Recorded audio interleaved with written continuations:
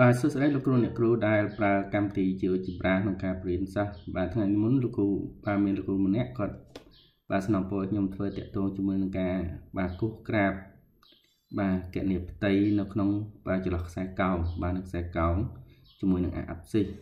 បាទថ្ងៃនេះខ្ញុំនឹងបង្ហាញពីការបាទប្រើជាជីប្រាក្នុងការកណនីផ្ទៃបាទហើយនឹងប្រើរូបបង្ហាញពីបាទការកណនីមៀត បាទសូលីបដិវត្តបញ្ជាលើយើងចាប់ដើមបាទកម្មវិធី GeoGebra បាទខ្ញុំអត់បានបង្ហាញអ្វីច្រើនទេដោយសារយើងធ្លាប់បាន បាទសិក្សាខ្លះរួចមកហើយនេះគឺខ្ញុំគូក្រាបនឹងយកតែម្ដងបាទអញ្ចឹងដំបូងគឺខ្ញុំគូខ្សែកោងមួយបាទ s នេះ x របស់ខ្ញុំគឺ x បូក2គឺតា x ដក1 បាទលើកជាការ៉េបូកបូក2បាទបូក2ចុះបាទឥឡូវយើងចង់កណនីអង់ទីក្រាលអញ្ចឹងអង់ទីក្រាលបាទពាក្យគឺលើសវាគឺនេះបាទបន្ទាប់មកសួរថាយើងកណនីអង់ទីក្រាលនៅចន្លោះណា បាទអញ្ចឹងកណនីអង់ទីក្រាលបាទ s នេះ x នេះគេដាក់ function បាទកន្លែង function ហ្នឹងយើងវាយមកបាទ function យើង s នេះ x បាទ start value អញ្ចឹងខ្ញុំចង់កណនីបាទពី2 ពីដក2បាទពីដក2ទៅទៅម៉ានទៅ2ក៏បាន2ជាងក៏បានខ្ញុំយកទៅ2ចុះបាទអញ្ចឹងនេះគឺវាចេញផ្ទៃមានន័យថាអន្តរក្រាលនៃអនុគម NX ចន្លោះពីដក2ទៅ2នៅលើចន្លោះហ្នឹងគឺតម្លៃរបស់វាគឺស្មើ16អានេះគឺបាទຂະຫນាត់ផ្ទៃណាបាទយើងអាចដាក់ពណ៌នៅលើវាបានលោកគ្រូបាទយើងមកស្ដាំហើយយើងយកពាក្យ property បាទចំពោះអានេះគឺវាដិតតិចតិចអញ្ចឹងយើងចង់ឲ្យវាកាន់តែច្បាស់បាទយើងអាចនេះ បាទទាញមកច្បាស់ហើយយើងអាចបដូរពណ៌តាមទីចិត្តយើងចង់បានទៀតអានេះគឺពណ៌មិនវាបាទអញ្ចឹងគឺចំពោះការគូសបាទគឺមានតែប៉ុណ្្នឹងចំពោះការគូសបាទអបាទផ្ទៃដែលបង្កើតឡើងដោយសារអង់ទីក្រាលបាទបាទនេះមួយ មួយទៀតយើងអាចមានអនុគម2បាទឥឡូវខ្ញុំលុបអនុគមនឹងចោលវិញសិនបាទលុបនេះមកបាទបាទហើយហើយបន្ទាប់មកខ្ញុំគូសបន្ទាត់មួយទៀតឧបមាថាខ្ញុំគូសបន្ទាត់ y ស្មើ x បូកបូក1បាទ x ដក1ល្អជាងណា x ដក x ដក2ចឹងចាស់បាទ x ដក2បាទឥឡូវយើងគណនីអង់ទីក្រាលបាទមិញគឺក្នុងករណីដែលអនុគម1ឥឡូវអនុ អានគុំ2អញ្ចឹងដូចគ្នាដែរយើងយកពាក្យអានទីក្រៅប៉ុន្តែវាមាន បាទដោយសារវានេះអញ្ចឹងវាមានពាក្យ between បាទអញ្ចឹងនេះអានទីក្រៅ between បាទ between នៃគេយើងមើលអានគុំមិនយើងបាទ s នៃ x បាទ s នៃ x ជាមួយនឹងបាទ z បាទ z វិញយើងចន្លោះខ្ញុំយកពីដក2 បាទទុក2ដដែលបាទនេះបាទអញ្ចឹងគឺអានេះចំពោះបាទចន្លោះខ្សែកោងខ្សែកោង2ប៉ុន្តែដោយសារខ្ញុំខ្ជិលរកខ្សែកោងមួយទៀតខ្ញុំយកមួយជាបន្ទាត់ហើយចំពោះការដាក់ពណ៌គឺដដែលលោកគ្រូអាចយកបាទលោកគ្រូអ្នកគ្រូអាចយកដដែលហ្នឹងណាហើយផ្ទៃវិញវាគឺមានន័យថាបាទអាលើមិញតាមបានដូចជា16ណាដល់ពេលបូកមកខំទៀតបាទ24 បាទអញ្ចឹងការកណនីផ្ទៃបាទនៅចន្លោះខ្សែកោងគឺបាទមានតែប៉ុណ្ណឹងបាទមួយទៀតបាទខ្ញុំចង់បង្ហាញតកតងនឹងការគូសក្រាបបង្ហាញសាសដោយប្រើបាទយើងព្រោះអង្គក្រៅយើងមានអង្គក្រៅយមន័យអញ្ចឹងកន្លែងនេះខ្ញុំលុបអនុគមបនិចោលបាទនេះអញ្ចឹងដើម្បីកណនីបាទ ផ្ទៃនៅចន្លោះដោយប្រើយមន័យបង្ហាញតាមយមន័យគឺឥឡូវខ្ញុំចែកចំណុចព្រោះចំណុចយើងនេះខ្ញុំយកចំណុចវាបាទថងនេះចាស់បាទយើងអានគុំ3ហើយទៅខ្ញុំអត់3សាថ្មីនេះបាទបន្ទាប់មកដោយសារយើងបង្កើតជាចតុកោណអញ្ចឹងយើងត្រូវការ slider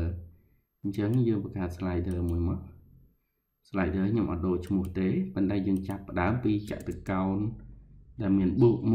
1បាទទៅ50បាទព្រោះយើងដឹងអាហ្នឹងជាអីគេតាមយមន័យវិវាណាវាកើនម្ដងមួយបាទ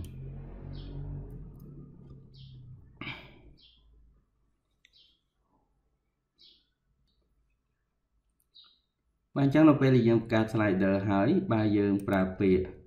បាទ lower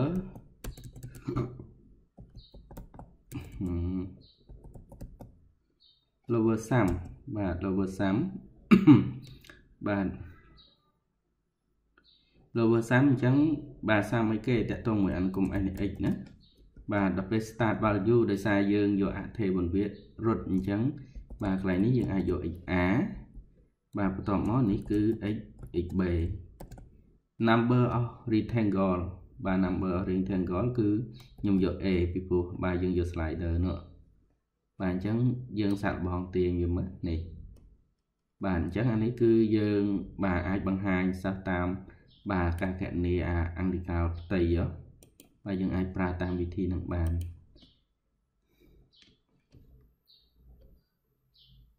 បាទខ្ញុំព្រិចរូបឲ្យមើលបន្តិច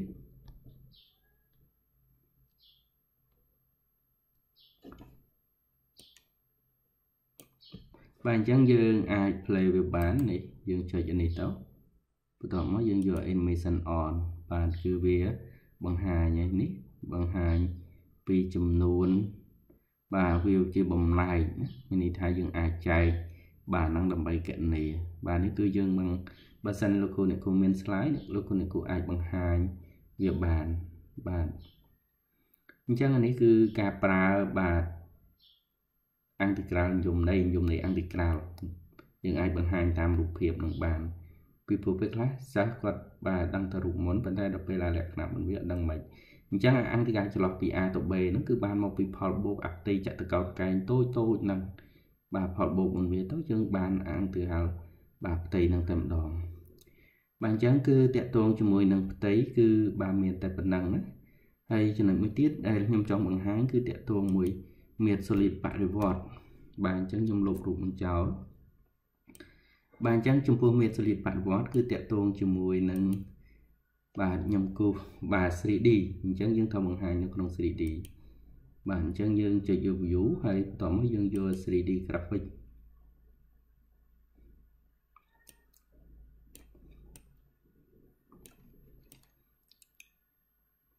បាទអានេះគឺអាស្រ័យទៅលើអ្នកគ្រូអ្នកគ្រូលោកគ្រូអ្នកគ្រូវាថាយើងប្រើអនុគមអីគេ បាទឥឡូវដោយសារខ្ញុំនេះខ្ញុំស្រឡាញ់កាលនៅរៀនគឺតាក់ទងជាមួយនឹងបាទដូចបាទដូចអីគេដូចស្គរបាទអញ្ចឹងដូចស្គរហ្នឹងគឺតាក់ទងជាមួយអនុគមស៊ីនបាទអញ្ចឹងខ្ញុំមានបាទស៊ីន x បូកជាមួយនឹងបាទ1.5បាទនិសា ហើយបើយើងថានៅលើចន្លោះ0តូចជាង x x តូចជាង5.5 2ខ្ញុំយកប៉ុណ្្នឹងចាស់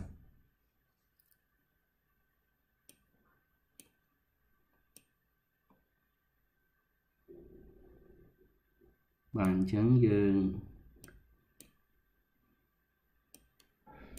អានេះយើងគូសអនុគមលើចន្លោះជាមើលសួរថាតើវាបានទៅជាអីគេណាបាទ តកតងជាមួយនឹង rotate ដូចគ្នាដែរ rotate គឺយើងប្រើ slider បាទ slider slider យើងចុចយកកន្លែងអានេះតិចទេយើងចុចក្នុង 2D បាទ 2D សិនបាទ 2D គឺយើងមាន slider ហើយ slider slider ខ្ញុំយក A ដែរប៉ុន្តែដោយសារនេះមុំ បាទអញ្ចឹងវាចេញពី0 maximum មិនវាគឺ2 pi បាទវាកើនវាកើនគឺយើងយកផៃចែកជាមួយនឹង180បាទវាកើនម្ដងកម្រិតប៉ុណ្ណឹងបាទដល់ពេលបានអាហ្នឹងហើយយើងយកពាក្យ rotate បាទអញ្ចឹងយើងយកបាទកន្លែង rotate បាទយើងវាយ rotate ហ្នឹងមក rotate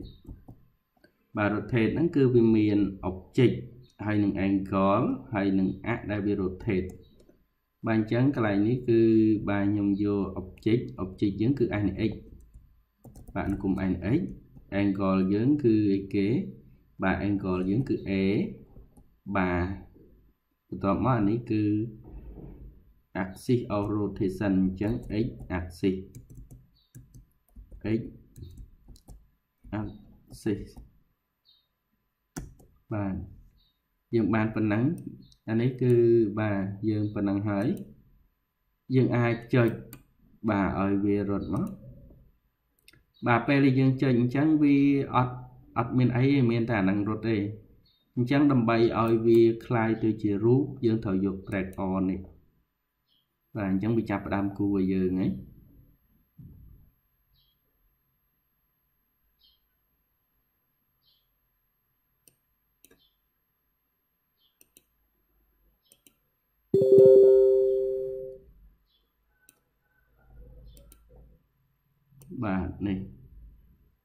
នេះគឺ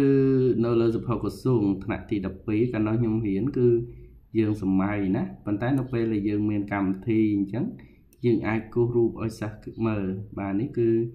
អបតីហ្នឹងវាពះទៅយើងបានរៀងហ្នឹងបាទអញ្ចឹងនេះគឺការបង្ហាញតកតងនឹងការគណនាមៀតបនសូលីបាទ solid បដិវត្ត បាទអញ្ចឹងអរគុណចំពោះការទស្សនាវីដេអូនេះបើសិនមានចម្ងល់អីតាក់ទងការគូររូបឬក៏មានសំណួរអីចង់ឲ្យខ្ញុំបង្ហាញតាក់ទងជាមួយកម្មវិធីនេះបើខ្ញុំចេះខ្ញុំនឹងអាចបាទខ្ញុំនឹងធ្វើបទបង្ហាញបន្ថែមបាទអរគុណ